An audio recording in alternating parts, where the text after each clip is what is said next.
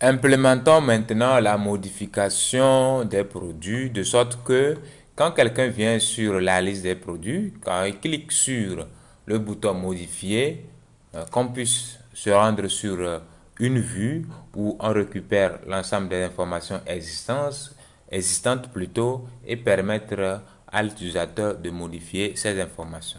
Et pour ce faire, on va tout simplement revenir dans le fichier où on a la liste des produits euh, et refaire la même chose comme on a fait pour la suppression. Donc, je copie cette ligne que je colle ici et je change supprimer par modifier. Et ici, au niveau du nom du fichier, je vais changer, je vais l'appeler update produit form.php. Donc, rapidement, je vais créer ce fichier-là, CTRL V.php. Maintenant, à l'intérieur de ce fichier, qu'est-ce que je vais faire? C'est rapidement faire appel à mon fichier qui me permet euh, d'avoir accès à la base de données.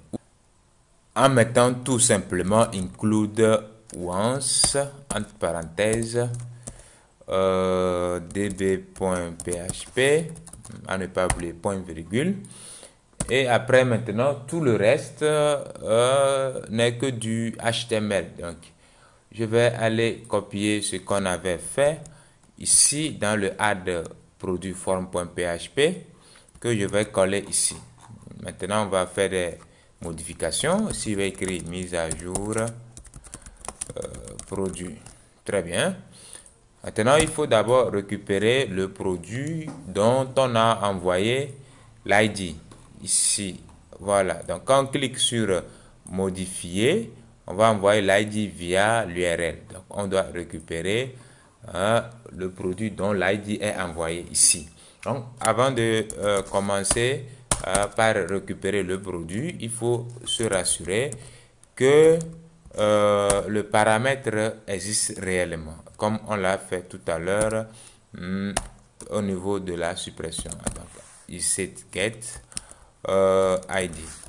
Donc, une fois qu'on est sûr que le paramètre existe. Euh, on peut faire d'autres contrôles tels que vérifier que euh, le paramètre, la valeur du paramètre n'est pas vide et que c'est un nombre, etc. Il y a plein de contrôles qu'on peut faire. Donc après tous ces contrôles maintenant, on peut se lancer dans la requête qui va nous permettre de récupérer le, produit. Donc je déclare euh, une variable dans laquelle je vais récupérer le produit hein, avec toujours ma variable db hein, maintenant avec la, requête préparée hein, entre parenthèses double quote euh, select étoile from produit where euh, id égale euh, point d'interrogation. C'est toujours la requête préparée. Donc une fois que la requête est préparée il faut l'exécuter. Donc pour l'exécuter, on va toujours utiliser notre variable produit et euh, faire appel à la méthode execute qui prend en retour un arrêt. D'accord? Donc il faut mettre point virgule à la fin ici. Et maintenant dans, le, notre, dans notre arrêt, il faut faire comment? Il faut récupérer euh, l'ID qu'on vient de passer par les paramètres. D'accord? On met ID ici. Je crois que c'est très simple. Ah, excusez-moi, il n'y a pas point virgule là-bas vu que c'est un tableau. Maintenant, qu'est-ce qu'il reste à faire? Il faut euh, récupérer euh, la donnée. Comme on l'avait fait, vu que ici, ici c'est un seul produit, on ne va plus utiliser la boucle for. On fait toujours, on, on va juste appeler la méthode fetch une seule fois sur euh, la variable produit. Voilà. Donc, produit, euh, fetch. Voilà. Donc, euh, on a récupéré euh, le produit sous forme d'un tableau associatif. Maintenant, il va falloir passer ce produit-là à notre formulaire de sorte que l'utilisateur puisse voir ces informations-là dans le formulaire et procéder maintenant à la mise à jour. Donc, quand on va cliquer sur Save, c'est-à-dire enregistrer, euh, quel est le fichier qui va s'occuper euh, du traitement de notre produit? Euh, je vais créer un fichier que je vais appeler maintenant update produit.php. Update.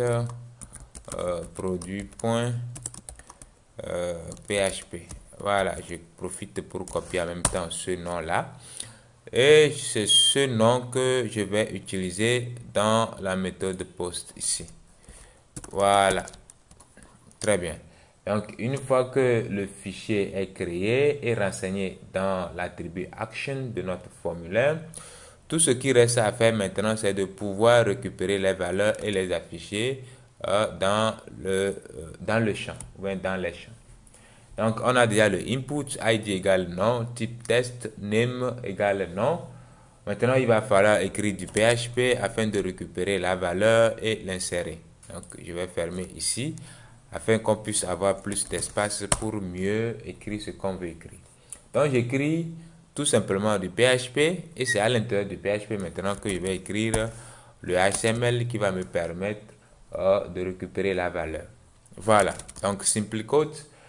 Et je commence. Hmm, il y a la, vous connaissez l'attribut value, normalement, qui permet euh, d'afficher une donnée dans le champ. Voilà, donc j'écris value égale et la valeur de l'attribut value euh, doit normalement entre, être entre double quotes. Donc j'ouvre les double quotes rapidement.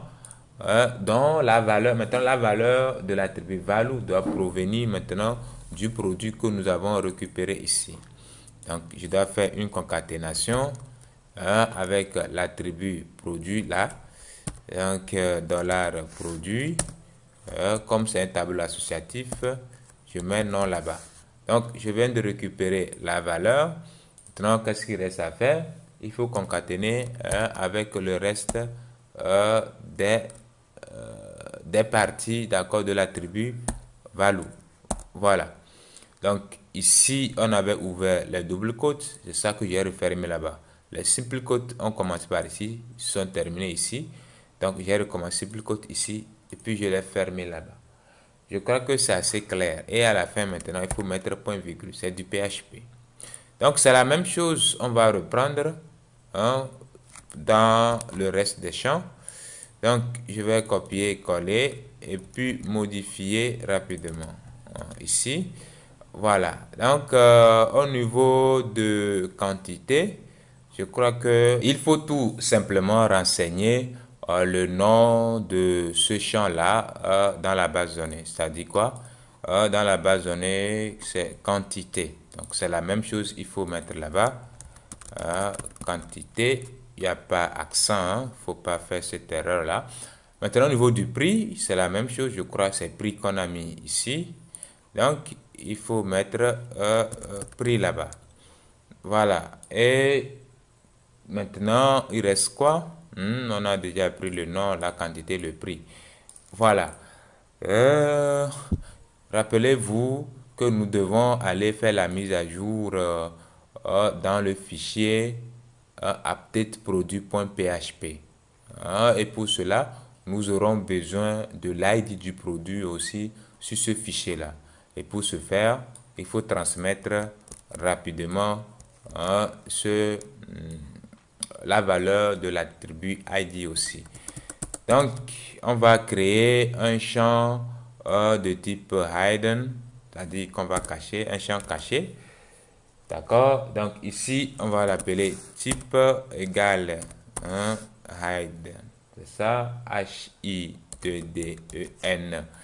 Et on va récupérer juste l'ID dedans. Ça, l'utilisateur ne va pas le voir, mais nous allons l'utiliser pour récupérer hein, l'ID. Donc, name égale ID. Très bien. Je crois que nous avons fini avec euh, cette partie-là. Comme c'était du copier-coller, ici, tout est déjà bon.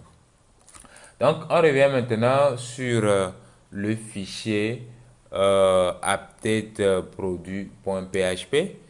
Je crois qu'on peut copier ceci là et ramener là-bas. Hein. Bon, bon, bon, bon, bon. Ouais, on peut le faire. On copie ça et on ramène dans update produit.php. C'est la même chose pratiquement. Donc, on va récupérer les données avec post, vérifier que tout est bon et puis procéder à la mise à jour. Sauf que ici, nous devons aussi récupérer l'ID. Et pour, pour ce faire, on doit faire aussi euh, tous les contrôles euh, nécessaires qu'il faut. Hmm? Donc, vous pouvez faire euh, if, dans Inanna, tout ce que vous voulez mettre, vous mettez ça là-bas. Donc, moi, je ne vais pas me tarder là-dessus. Je vais directement écrire ma requête ici. Donc, qu'est-ce qu'on va écrire? Update hmm, produit euh, cet nom égale à point d'interrogation, virgule euh, quantité égale à point d'interrogation, virgule euh, prix égale point d'interrogation. Maintenant, à ne pas oublier, ID égale à point d'interrogation. Voilà, donc notre requête est prête. Qu'est-ce qu'il reste à faire? Il faut juste la préparer avec la méthode de prépare. Et si tout est OK, on va passer à l'exécution. Donc l'exécution dans l'ordre, on va passer le nom qu'on a très bien récupéré, la quantité, euh, le prix, et il reste quoi? Il reste tout simplement euh, l'ID. Voilà. Donc pour récupérer l'ID aussi, c'est avec la méthode post et il faut remplacer euh, prix par ID comme c'est du copier-coller que je viens de faire. Maintenant euh, or die ça c'est pour gérer euh, les erreurs. En bas ici le décrit produit ajouté avec succès. On va mettre produit mise à jour euh, mise à jour hmm, avec succès. Et si tout se passe bien ça va nous ramener automatiquement sur la liste des produits. Bon, je crois que tout est OK. Allons-y actualiser. Le moment de vérité est arrivé. On va cliquer sur modifier au niveau de craie pour voir si ça fonctionne. Apparemment, il y a un problème. On me dit undefined variable à la ligne 13. Allons-y voir. C'est dans quel fichier update produit form. Voilà, update produit form à la ligne 13 j'utilise produit, ok, j'ai écrit dv, donc c'est db, hein. c'est la variable que nous avons déclarée depuis dans ce fichier là, hein, db. Voilà, donc je reviens, euh, c'est dans update form, voilà, j'ai corrigé, allons-y actualiser pour voir si c'est bon. Ok, je vais d'abord annuler, je clique sur modifier, là j'ai la craie quantité 30 et prix unitaire 1100 francs. Ah, vérifions très bien que c'est le cas. Hein. Prix unitaire 1100 francs. OK. Donc, je clique sur cahier aussi. On me dit cahier, quantité 20, prix 500. À supposer que la quantité c'est 40. OK. Je vais mettre 40 là-bas. Et le prix c'est 2000. Donc, je vais écrire 2000 là-bas. Donc, on va enregistrer pour voir si cela prendre tout ça en compte. Je clique sur enregistrer. Euh, on me dit que la table produit n'existe pas. Donc, j'ai fait une erreur ici. C'est où? Euh, Select étoile from produit. Donc, ce n'est pas là-bas. Je crois que c'est le update produit. Hein? Ouais, ça doit être update produit ici. Voilà. Donc, update produit, j'ai manqué un O là-bas. Enregistrer. Maintenant, actualiser. Confirmer. Et ça marche. Exactement. Voilà euh, la modification implémentée. Je vais ajouter un produit. Quel produit on va ajouter? Euh, Gomme. On va écrire gomme. Quantité 10. Prix unitaire 100 francs enregistré.